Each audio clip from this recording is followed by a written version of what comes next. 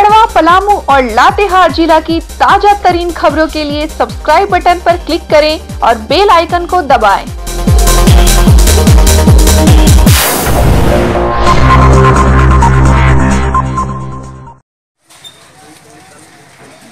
गढ़वा नगर परिषद के चुनाव का चंद महीने ही रह गए हैं और गढ़वा नगर पर- गढ़वा नगर जनप्रतिनिधियों के द्वारा कितना विकास के कार्य हुए हैं आइए हम जानना चाहेंगे। अभी वार्ड नंबर 16 में है इसकी पड़ताल करने निकली है तलाश टीवी की टीम और हमारे साथ है यहाँ के यहाँ की जनता। आइए जानना चाहेंगे यहाँ की जनता से कि कितना विकास के कार्य हुए हैं। है हाँ विजय जी बोलिए कि यहाँ पे किस तरह का विकास के कार्य हुए हैं क्या क्या विकास के कार्य हुए हैं क्या नज़र आ रहा है यहाँ पे विकास के कार्य साफ़ सफ़ाई हमारे वार्ड में गाँव में। नहीं हो रहा है, हम लोग नगर पालिका को टैक्स भी दे रहे हैं। उस तरीका से हमारे कोई लाभ नहीं मिल रहा है नगर पालिका से। आज देखे द्वारा, दरवाज़ा पर बैठने में हमको इतना दुर्गंध आता है नाली उली।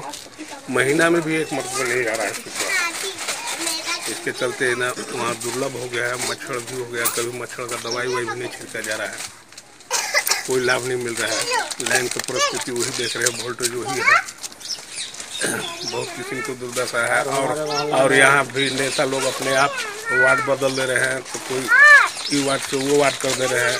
आधार कार्ड में ऐसे है तो ये वार्ड बदल दीजिए तो हम लोग जान ही नहीं रहे अपने आप बदल दे रहे हैं कि आप चौदह में होगा तो आप चार में होगा तो छः में हो गया। और एक बात है कि हर एक कम से कम हम लोग से पूछना भी तो चाहिए कि हाँ जी अपने आप बदल दे रहे हैं सब।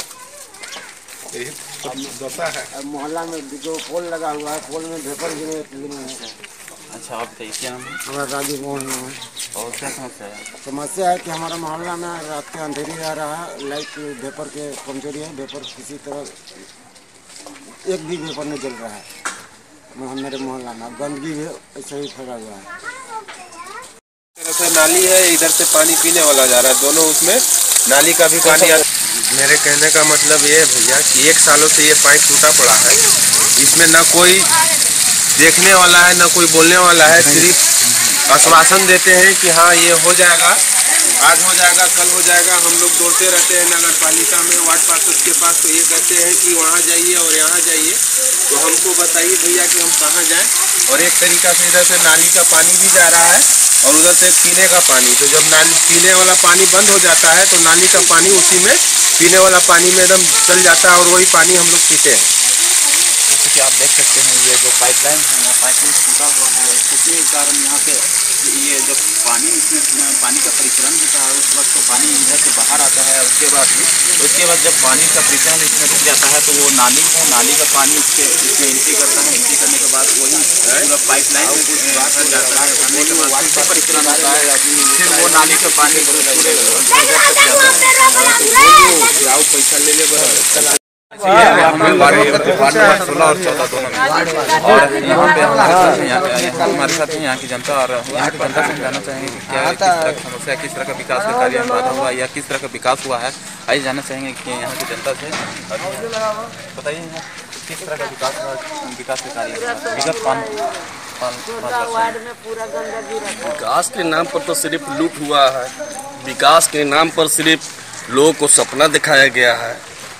विकास के नाम पर लोग अभी तक असरे में है। कहाँ विकास बाबू है? यही विकास है देखिए। सनपुरुआ में जहाँ घूम घूम के देख लीजिए, कहाँ विकास समझ में आ रहा है? बस एगो कौशल विकास केंद्र का एगो बिल्डिंग बना हुआ है। सही बात है, बहुत अच्छा चीज़ है। प्रशिक्षण केंद्र आने वाला समय में सुचारू रूप से ये चलेगा। तो कितने लोगों को काम सीखने का मौका मिलेगा, कितने लोगों को काम करने का अवसर मिलेगा। लेकिन विकास के नाम पर न यहाँ का नाली पर कोई व्यवस्था है और न यहाँ पर सफ़ाई पर कोई ध्यान है। सफ़ाई के लेकर के सर, स्वच्छता अभियान के जो पूरा देश में अभियान चला, उस अभियान के तहत हमारे नगर पंचायत में लूट के अलावा, खाना पूर्ति के अलावा कहीं कुछ नहीं हुआ है। अब पूरा केंद्र है सलपुरवा पुरानी बैल बाज़ार एक केंद्र है। लेकिन इस केंद्र में वहाँ पर एक सोचा एक नगर परिषद की ओर से वहाँ पर एक बोर्ड लगा हुआ। वहाँ पर हालात आप देख लीजिए। यहीं पर हालात देख लीजिए। इससे मेरा बीमारी पैदा होगा कि नहीं होगा? डस्टबिन भी नहीं आया और दूसरी चीज़ है कि अभी तो सुने हैं कि हर घर में डस्टबिन दिया जाएगा। ठीक है। लेकिन डस्टबिन मिलेगा तो ना मिलेगा तो उसके लिए हम लोग के भी पूरे जनता को भी जागरूक होना पड़ेगा। और नगर परिषद को तो कम से कम हंड्रेड परसेंट इसमें जिस हिसाब से जनता को जागरूक करने के लिए हर तरह के अभियान उनको छेड़ना होगा। हर तरह के घर घर जा करके लोगों को जागरूक करना होगा, तभी तो ये स्वच्छता अभियान पूरा होगा। और रही बात विकास की बात तो विकास नहीं हुआ। विकास के नाम पर सिर्फ़ लूट हुआ है।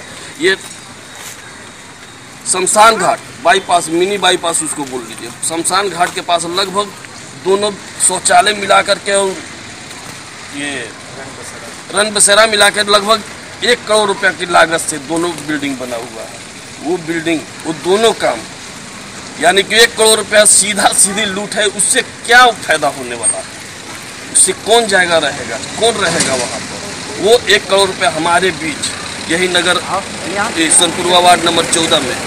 ठीक ना पुरानी बैल बाज़ार में एक डीप हो जाता, एक पानी का व्यवस्था हो जाता तो गोड़ मोहल्ला, कुम्हार मोहल्ला नालबंद मोहल्ला और धोबी मोहल्ला।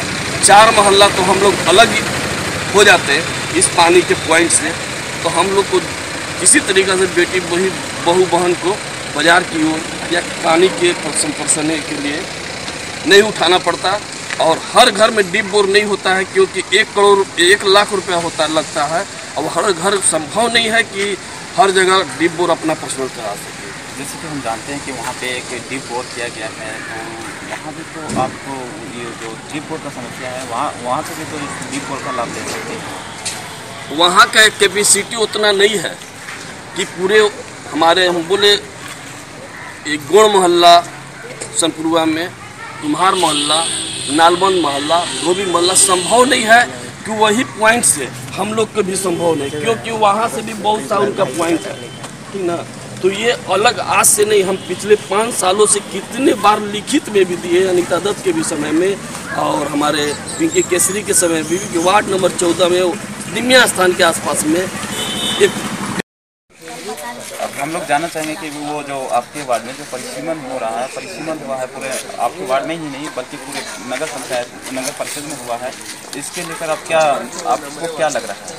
देखिए, जो परिसीमन हुआ है, वो जो है मतलब बहुत ही गलत हुआ है, क्योंकि परिसीमन जो है, वो गलत तरीके से किया गया है, जबकि सुनने में इस तरीका से भी आया है कि सरकारी अमीन उस चीज़ को मतलब अपने से नहीं किए हैं। कुछ लोग बैठकर इस चीज़ का मतलब बैठकर सीमा जो है बांट दिए हैं। ये जानकारी हमको वार्ड परिषद के द्वारा दी गई कि मतलब ऐसे ऐसे बातें हुई हैं।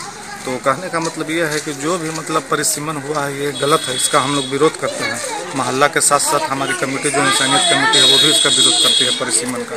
इसलिए क्योंकि जो भी डॉक्यूमेंट लोगों का बन चुका है, चाहे वो आधार कार्ड हो, पैन कार्ड हो, या मतलब क्वालिफिकेशन डॉक्यूमेंट हो, उसमें सभी कोई का वार्ड पार्षद सोलह वार्ड सोलह, वार्ड चौदह दिया गया है। जबकि अब वार्ड चेंज हो जाने के बाद वार्ड पाँच, वार्ड छः हो जाएगा, जिससे वार्ड उसमें चेंज करवाना पड़ेगा और बहुत ही मतलब परेशानी होगी। जो भी डॉक्यूमेंट में मान लीजिए कि सपोज़ डैट प्रोविजनल सर्टिफिकेट में और किसी चीज़ में वार्ड नंबर 16 14 दिया हुआ है तो वो कैसे चेंज होगा? सबसे बड़ी समस्या। जो वार्ड हम लोगों का मतलब आधार कार्ड में है, वो तो चेंज हो जाएगा, लेकिन हर पाँच साल के बाद फिर, पाँच साल के बाद कोई आके बोलेगा कि नहीं, अब ये पाँच वार्ड जो है, ये हो गया अब आठ वार्ड। तो हम लोग क्या हर पाँच साल के बाद अपना डॉक्यूमेंट ही चेंज कराते रहेंगे। इससे जो है विकास बाधित होगा, हम लोगों का विकास भी रुकेगा। और जो है बहुत सारी बातें हैं, उससे जुड़ी हुई। कोई भी अगर से डाकिया, मान लीजिए पोस्ट का चीज़ ही हम लोग के पास आता है तो लोग जान रहे हैं कि ये सोलह वार्ड है ये चौदह वार्ड है। उन लोग को भी दिक्कत होगा और हम लोगों का जो भी पार्सल डॉक्यूमेंट आता है वो उसमें भी दिक्कत होगी क्योंकि उन लोग को भी पहचानने में करने में दिक्कत होगा कि वार्ड पाँच कौन है छः कौन है। इसलिए जो है ये परिसीमन जो हुआ है बहुत ही गलत हुआ है इसका हम लोग विरोध करते हैं वार्ड की जनता अगर ये परिसीमन में अगर बदलाव नहीं होता है अगर इस पर रोक नहीं लगाया जा रहा है तो आप लोग क्या करना क्या करेंगे? अगर से परिसीमन में अगर से नहीं होता है तो इसके लिए हम लोग सदस्यता अभियान चलाने की कोशिश किए हैं हर हस्ताक्षर अभियान। हस्ताक्षर अभियान के बाद जो है हम लोग इस ज्ञापन को डीसी महोदय के पास सौंपेंगे। कि ये जो हम लोगों का वार्ड है इसमें जो है जिस तरीका से पहले था उसी तरीका को वार्ड को छोड़ा जाए जिससे जो विकास का कार्य है वो हो सके। सही तरीके से। क्या नाम हो आपका? मेरा नाम हुआ मोहम्मद राशिद खान गोल्डन कुनन भैया? कौन सा वार्ड में रहते हैं? मैं सोलह वार्ड में हूँ इंसानियत कमेटी के मीडिया प्रभारी के रूप में मैंने जो आपको बताया वो सही सही चीज़ बताई है मैंने। और वार्ड की जनता के नाते जो वार्ड में जो भी समस्याएँ हैं, उसको मैंने मीडिया के सामने उजागर किया है धन्यवाद गढ़वा, पलामू और लातेहार जिला की ताज़ा तरीन खबरों के लिए सब्सक्राइब बटन पर क्लिक करें और बेल आइकन को दबाएँ।